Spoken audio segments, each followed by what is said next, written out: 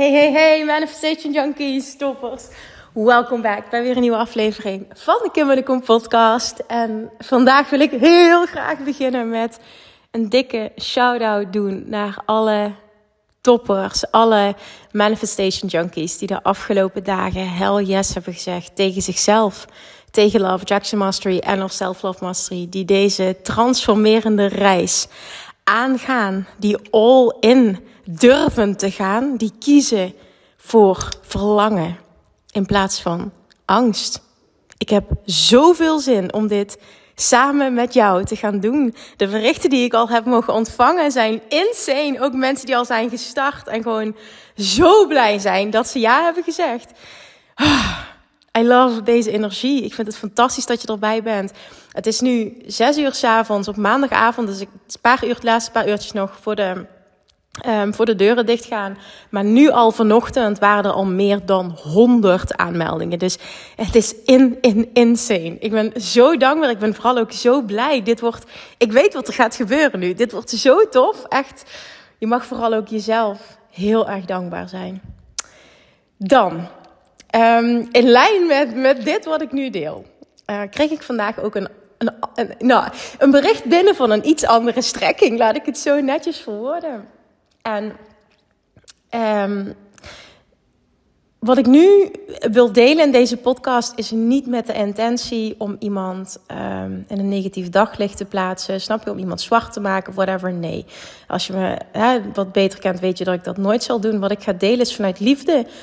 En ik kan me voorstellen dat het misschien ervaren wordt als uh, mm, heel duidelijk en misschien wel wat hard. Want ik wil mijn uh, ongezouten mening geven over een berichtje dat ik binnenkreeg. Um, volledig oké, want iedereen mag alles vinden, zeggen, denken, alles. Um, alleen voor mij was echt het gevoel meteen, en mijn waarheid ook, maar dit is dus precies de reden waarom jij vastzit. Dit is precies de reden waarom je niet succesvol bent. Dit is precies de reden waarom je struggelt. Wat er gebeurde namelijk is, en ik, ik, ik moet het bericht dan even apart erbij pakken, uh, maar ik zal gewoon even de, de strekking ervan uh, met je delen. Waar het op neerkwam was dat ze zei: uh, Kim, als jouw leven zo fantastisch is en dat jij daadwerkelijk alles uh, manifesteert en een huis en dit en dat, um, waarom moet jij dan geld vragen voor een van je trainingen? Waarom kun je dat niet gewoon gratis aanbieden? Waarom moet ik geld betalen als ik dit van jou wil leren? Dat vond ik, vond ik zo mooi, want ik dacht: oké, nou, ik, ik, ik, wil je mijn, ik wil mijn visie met je delen. Ik wil, ik wil, en ook in deze podcast, hè, dat is ook wat ik ga doen, want dat heb ik ook uh, naar haar gestuurd. Ik wil heel graag mijn um, why delen. Maar vervolgens ook laten zien waarom precies deze denkwijze ervoor zorgt dat je niet succesvol bent. De reden waarom ik een bedrag vraag voor een training is als allereerste omdat je een, dat is echt mijn 100% waarheid en ervaring, je je klanten dit zei ik vanuit ondernemersperspectief. Je je klanten, en ik kan het ook noemen als de ander, hè, degene die kiest om ja te zeggen, een dienst doet, een favor doet. Dat klinkt even heel stom wat ik nu ga zeggen, maar ik ga het uitleggen. Op het moment dat zij een investering doen. Waarom? Als je een investering doet, ben je per definitie al meer invested. If you pay, you pay attention. En ik heb dit willen testen. Ik heb dit vaker getest. Of dit daadwerkelijk zo is. Dus wat heb ik gedaan? De afgelopen jaren heb ik zo vaak mensen gratis toegang gegeven tot iets. iemand die dichtbij me stond, iemand bepaalde uitzonderingssituaties, noem maar op. Zo vaak zoiets gedaan. En nog nooit van al die keren is iemand echt all in gegaan. En heeft hij zijn leven getransformeerd. En dat was voor mij de bevestiging. Huh. She hasn't, dan, dan heeft die persoon geen skin in the game. En dan gebeurt er ook niks. En dit is super interessant, want dit merk ik ook bij mezelf bijvoorbeeld. Hè, als ik een investering doe van een paar honderd of duizend euro of whatever, die voel ik niet. En, en, en dan kan het best zo zijn dat ik iets koop en dat ik er helemaal niks mee doe. Maar investeer ik minimaal 10.000 euro, dan zorg ik wel dat ik er wat aan doe. Want die voel ik. En dit is super interessant, hoe wij als mensen in elkaar zitten. En dat is, dat, dat zeg ik even zonder oordeel, maar dat is echt wel hoe over het algemeen wij gewired zijn. Dat letterlijk, if you pay, you pay attention. En hoe meer de investering jou stretcht, dus hoe meer die ergens pijn doet, hoe meer het een stretch is, hoe meer invested dat je bent. En daarom is dit zo goed. En dan kies ik er bewust voor om betaling in 12 termijnen mogelijk te maken. 12. Waardoor het in verhouding echt een, maar een pietluttig maandbedrag is. En ik weet dat dat niet voor iedereen zo is. Hè? Dus daar ook geen oordeel over. Maar weet je, gewoon interessanter financieel kan ik het gewoon niet maken. En op dat stuk wil ik mezelf ook gewoon niet verantwoorden. Maar ik wil uitleggen welke gedachtegang daarachter zit. Überhaupt. Hè? Dat, er, dat er een bedrag voor gevraagd wordt. Dat als eerste. Ten tweede is het ook nog eens zo dat als het energetisch niet klopt dat is super interessant voor alle ondernemers om dit te horen. Als het energetisch niet klopt, wat jij vraagt voor iets wat je aanbiedt, maakt niet uit wat het is, maar als het voor jou niet vervullend voelt, wat daar tegenover staat, hè, qua energie, wat je terugkrijgt, want geld is puur energie. Het is een uitwisseling van. Dan klopt het energetisch niet en kan het ook niet stromen, zowel voor die ander niet als voor jou niet. En dit is vanuit de wet van aantrekking, dit is mijn 100% mijn waarheid, is ook mijn ervaring. Want ook op dat vlak uh, heb ik meerdere dingen getest.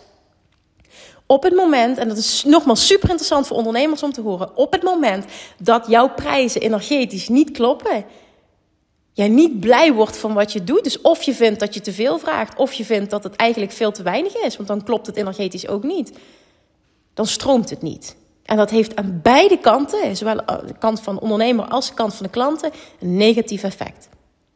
En dit is super interessant om je dit te beseffen. En als ik iets aanbied, zorg ik altijd dat mijn prijs op dat moment 100% aligned zijn. Het moet iets zijn wat ik 100% kan ownen. Dit ook wel vanuit ondernemersperspectief. Dan trek je ook de juiste klanten aan. En vervolgens moet het ook een bedrag zijn waarvan ik weet Um, ik kan dit makkelijk ownen uh, voor wat ik en, en voor hè, dat ligt er ook aan welk programma, welke coaching dat het is, maar voor hè, dit stuk bijvoorbeeld, ik wil dat het voor iedereen toegankelijk is. En als iemand anders ervoor kiest omdat bijvoorbeeld hè, in, in dit geval van dat berichtje te veel geld vindt, een te hoog bedrag vindt. En het interessante is dat het bijna niet uitmaakt wat je vraagt. Er is altijd wel iemand die het te hoog vindt. Dan is dat aan die persoon. En dan is dat voor die. En dan is het gewoon niet voor hem of haar. En dat is volledig oké. Ik weet nog toen ik voor de allereerste keer, dat was in 2018, oktober 2018, vergeet ik nooit, maar kun je nagaan. Lanceerde ik voor de eerste keer Weight Loss Mastery. En die bood ik toen aan voor 197 euro of 12 termijnen voor 19 euro. Hoor je wat ik zeg? En die training is transformerend. En ik weet nog dat er toen iemand was, want ik weet nog dat ik daar echt om moest lachen. Die zei: hoe kun je zo'n bedrag verantwoorden? En toen dacht ik echt, wauw, dit zegt zoveel over jou en jouw money mindset. En dit zegt helemaal niks over mij. En dat dacht ik. En toen was mijn realisatie: weet je, het maakt gewoon niet uit wat je vraagt. Er is altijd wel iemand die het te veel vindt. Dus laat je, ik hoop ook echt als ondernemer dat je hier lessen uithaalt, laat je daar niet door leiden. Jij moet je prijzen ownen. Jij moet het ownen. Ik geloof er ook in qua prijzen vragen. Er is geen goede fout. Jij moet het ownen. Je kunt kijken naar de industry standard. Ik adviseer je om je daar niet door te laten leiden. En dat zeg ik op basis van you do you. En ik geloof erin dat het gaat stromen op het moment dat het energetisch klopt. En whatever that is, als het klopt voor jou, dan is het goed. Oogkleppen op en je eigen pad bewandelen. Hè? Op het moment dat niemand koopt, ja, dan, dan zegt dat niet per definitie dat het aan je prijs ligt hoor. Heel vaak uh, zit het in het aanbod. Want geld is nooit de reden waarom iemand niet koopt. Het zit hem altijd op een ander stuk. Maar nu wijd ik te veel uit, hier ging het niet om. Dat zijn de dominante, de twee redenen waarom ik het heel belangrijk vind om een bedrag te vragen dat ik volledig kan ownen. Waarvan ik weet, als ik het zo aanbied, is het voor iedereen. Dat vind ik persoonlijk heel belangrijk, omdat ik erin sta. dat is ook interessant waarom ik dit benoem. Is je wil ook kijken als ondernemer, hoe zit ik in de wedstrijd? Hè, er zijn er ook die focussen zich juist heel erg op. Um, ik wil uh, bijvoorbeeld hogere bedragen vragen. En ik wil maar met een paar mensen per jaar werken. Ik zit zo in elkaar dat het mijn joy is om zoveel mogelijk mensen te mogen helpen. Dus dat betekent ook dat ik mijn business uh, zo zal moeten inrichten dat ik dat kan, want anders klopt het niet. Dat wil niet zeggen dat ik niet daarnaast ook nog uh, duurdere trajecten kan aanbieden met hogere investering bijvoorbeeld, maar dan werk ik ook veel closer met mensen. Bijvoorbeeld Bali is een hogere investering. Werk ik super close met iemand samen, compleet verzorgd retreat. Um, Six Figure Academy VIP is een hogere investering. Met mij één op één werken is uiteraard een hogere investering. En dat is voor een ander type klant die daar bewust voor kiest. In de Six Figure Academy VIP groep zitten bijvoorbeeld mensen die letterlijk tijdens het retreat, is voor een het mega eye-opener ook. Die zei tegen, kan ik me nog heel goed herinneren, dat één persoon bijvoorbeeld zei: van vanaf het moment dat jij een, um, traject ging aanbieden van 10.000 euro, was ik pas serieus geïnvesteerd. Ik serieus geïnteresseerd, sorry. En die klanten heb je ook. Dat zijn klanten van een heel ander level. Het zijn compleet andere personen. En jij bepaalt als ondernemer. Wat wil jij? Waar wil je op focussen? Hoe wil ik zijn? Wat voor business wil ik bouwen? Snap je, wat wil ik doen in deze wereld? En alles is goed, er is geen goede fout. Maar op basis daarvan, naar mijn mening, baseer je dat. Dus één, if you pay, you pay attention. Je, je daadwerkelijk, je bewijst je klant een dienst. De mensen die nu zijn ingestapt, hè, alleen al, dat kreeg ik ook meerdere malen terug. Alleen al door het doen van de investering die ik zo spannend vond. Maar doordat ik hell yes zeg tegen mezelf en tegen mijn groei. En dit durf te doen, omdat is een teken van vertrouwen in mezelf daardoor is er al iets getransformeerd.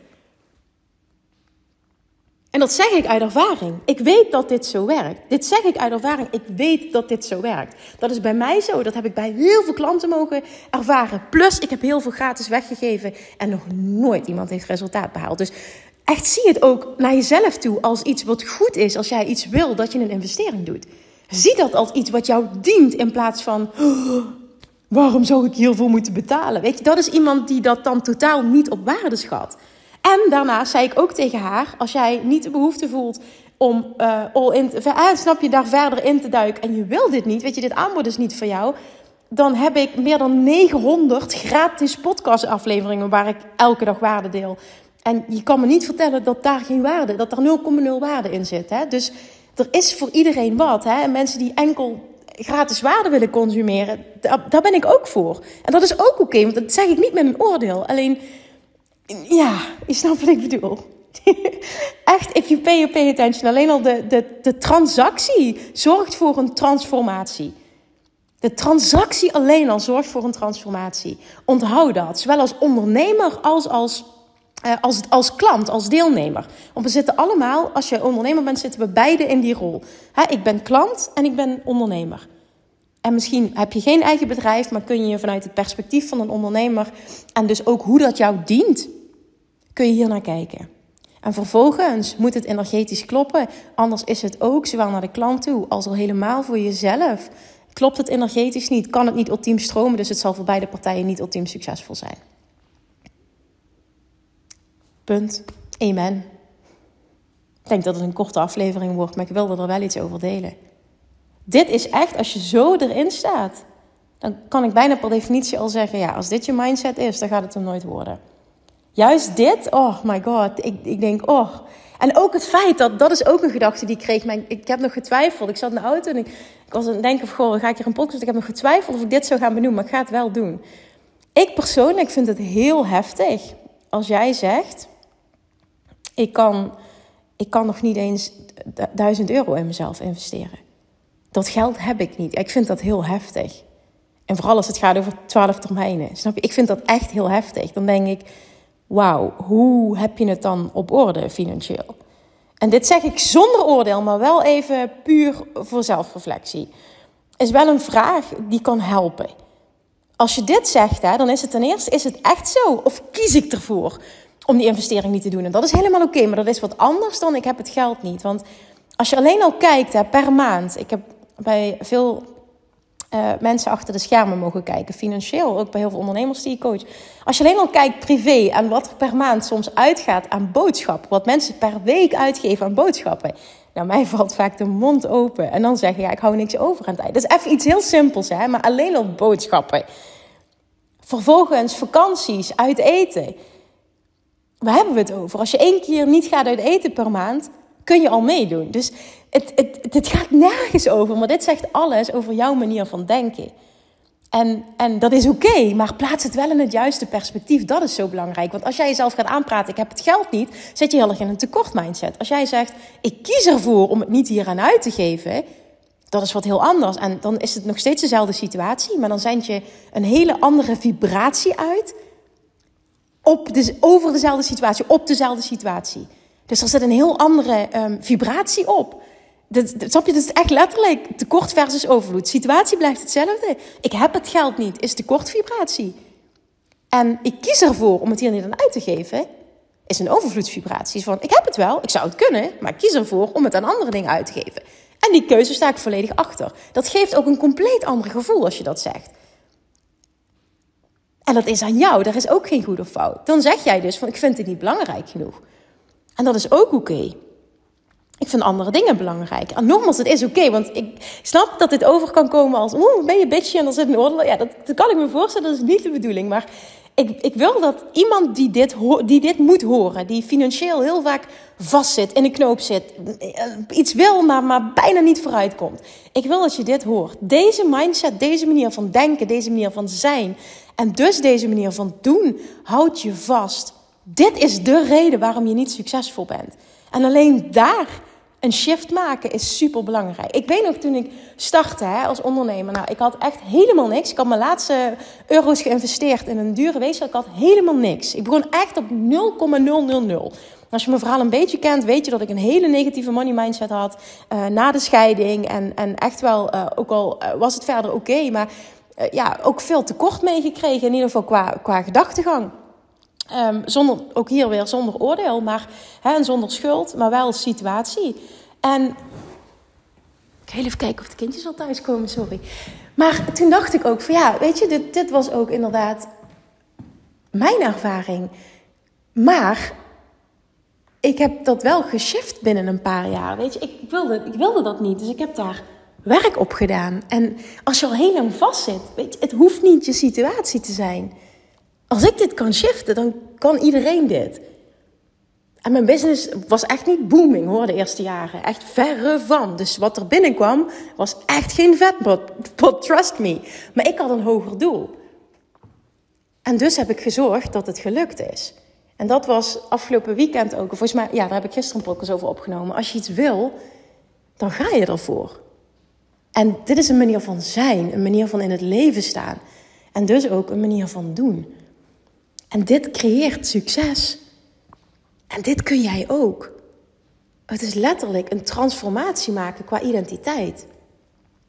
Maar als jij niet gelooft dat dat voor jou is weggelegd, of je blijft in dat tekort hangen en je doet ook niets om die situatie te veranderen, dan ontstaat er dus ook geen verandering. En dat is niet omdat het niet voor jou is weggelegd, maar omdat jij verzuimt om het echte tussen haakjes werk te doen.